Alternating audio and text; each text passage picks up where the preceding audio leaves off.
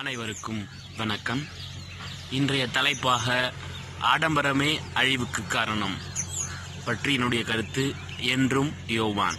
இந்த தலைப்பெடுப்பதற்கான காரணம் இன்றைய காலகட்டத்தில் நாம் அழிவதற்கு காரணமுமாகவும் ஏன் பல தவறுகளை தூண்டுவதற்கு காரணமாக இருப்பது இந்த பணம் தான் இந்த ஆடம்பரம் தான் ஆடம்பரம் அளவாக இருந்தால் பிரச்சனை இல்லை. அளவை தாண்டும் போதுதான் பிரச்சனை ஆரம்பிக்கிறது.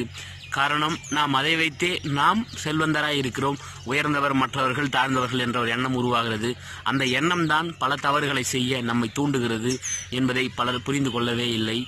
உதாரணமாக நமது கிராமங்களில் உள்ளவர்கள் அல்லது வீட்டில் இருக்கிறவங்க சொல்லுவாங்க என்ன சொல்லுவாங்கன்னு பார்த்தோன்னா ஆணவத்தில் அழிஞ்சனோட ராணுவத்தில் அழிஞ்சவன் அதிகம் ராணுவத்தில் அழிஞ்சனோட ஆணவத்தில் அழிஞ்சவன் அதிகம்னு சொல்லுவாங்க.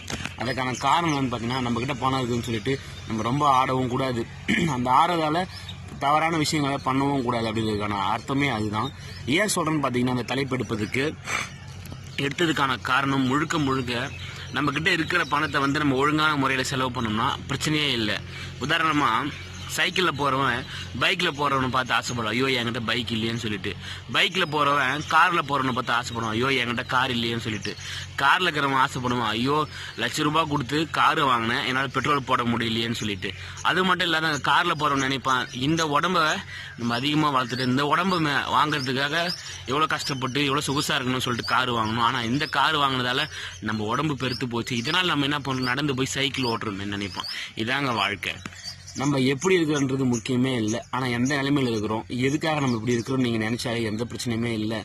அந்த காலத்தில் இருந்து புத்தர் முதல் பெரிய பெரிய பணக்காரங்கள் வரைக்கும் அந்த ஆடம்பரத்தை திறந்ததால தான் அவங்க ஒரு புத்தராக இருக்காங்க ஒரு ஞானியாக இருக்காங்க. அதுக்கான காரணம் அவங்க அந்த ஆடம்பரத்தை விட்டு வந்துட்டாங்க. அதனால தான் அவங்க மக்கள் வந்து இன்னமும் அவங்கள போயிட்டு இருக்காங்க. ஏன் புத்தர்கிட்ட இல்லாத பணமா? அவர்கிட்ட இல்லாத செல்வமா? இத்தனைக்கும் ஒரு அவர் அரசராகவே இருந்தார். அரசராக இருந்து ஏன் அரச மரத்தடியில் உட்கார்ந்தாருன்னு யோசிச்சு பார்த்துருக்கீங்களா? அதுக்கான காரணம் என்ன பார்த்தோன்னா இந்த ஆடம்பரம் தான் நமக்கு பிரச்சனையாக இருக்குன்னு சொல்லிட்டு அந்த ஆடம்பரத்தை அவர் விட்டு வந்ததால தான் இந்த பிரச்சனை தீர்ந்துச்சு. இந்த தலைப்பு நேற்று கூட ஒரு சம்பவம் நடந்துச்சு. ஏன்னு பார்த்தீங்கன்னா காரில் போகிறவங்க என்னவோ ஃப்ளைட்டில் போகிற மாதிரி அவங்க பாட்டுன்னு சைக்கிளில் போகிற ஒருத்தரை இடிச்சிட்டு போயிட்டாங்க. அதை பார்த்த வர திடீர்னு எனக்கு அது அந்த தலைப்பை பற்றி பேசணும். ஏதோ ஒரு விஷயத்தை நம்ம சொல்லணுன்ற ஒரு எண்ணம் வந்தது. ஏன்னு பார்த்தீங்கன்னா காரில் போகிறது வந்து ஒரு பெரிய விஷயமே கிடையாது. இந்த காலத்தில் யார் வேணா வாங்கலாம் எது வேணா பண்ணலாம். ஆனால் ஆரம்ப காலத்தில் அவங்க எப்படி இருந்தாங்கன்னு சொல்லிட்டு அந்த ஒரு நிமிஷம் நினச்சி பார்த்துருந்தா இந்த பிரச்சனை வந்திருக்குமா? நீங்கள் யோசிச்சு பாருங்கள் பார்ப்போம். நம்ம ஏதோ பெருசாகிட்டோம் இதனால் நமக்கு வந்து பழசெல்லாம் மறந்து போச்சுன்னு நினைக்கக்கூடாது கண்டி. எவ்வளோ பெருசானாலும் நம்ம எந்த நிலையில் இருந்தோமோ அந்த நிலையை நம்ம மறந்தோம்னா கண்டிப்பாக பிரச்சனை வரும். ஏன்னு பார்த்தோன்னா இப்போ நம்ம வந்து கீழே இருந்து மேலே போயிடலாம். மேலே இருந்து கீழே ஆனால் தான் பிரச்சனை. நம்ம கீழே இருக்கலாம் நமக்கு எந்த பிரச்சனையுமே கிடையாது. நம்ம லைஃப் இப்படி தான் சொல்லிட்டு நம்ம போயிட்டே இருக்கலாம். ஆனால் மேலே இருக்கிறவங்க கீழே வந்தால் தான் பிரச்சனை. ஆனால் நம்ம இவ்வளோ ஒரு பெரிய பணக்காராக இருந்தோம் இப்படிலாம் இருந்தோம் நம்ம லைஃப் இப்படி தான் இருந்தது. ஆனால் இன்றைக்கி நம்ம இப்படி ஆகிட்டுமேனு யோசிக்கிறவங்க பார்த்தீங்களா? அவங்களுக்கு தான் பிரச்சனையே நடக்குமே தவிர இந்த ஆடம்பரத்தை திறந்தது நான் தவறுன்னு சொல்லலை. ஆடம்பரம் அளவாக இருந்தால் பிரச்சனை இல்லை. அளவு தாண்டினால் பிரச்சனை என்பதை நீங்கள் உணர்ந்து கொள்ளுங்கள்.